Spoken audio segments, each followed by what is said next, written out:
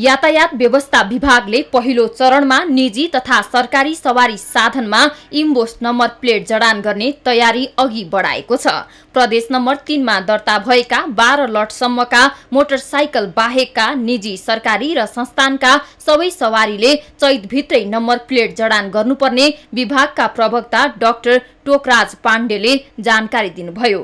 विभागले तेह्र लटदेखि माथिका बागमती अञ्चलका निजी गाडीहरूलाई असार मसान्त दुई हजार पचहत्तरको समय सीमा दिएको छ। पहिलो चरणमा विभागले तीन नम्बर प्रदेशबाट मात्र इम्बोस नम्बर प्लेट राख्न सुरु गरेको हो। तेह्र लट माथिका सवारी धनीले तुरुन्त इम्बोस नम्बर प्लेट लिन चाहेमा पनि उपलब्ध हुने विभागले जनाएको छ।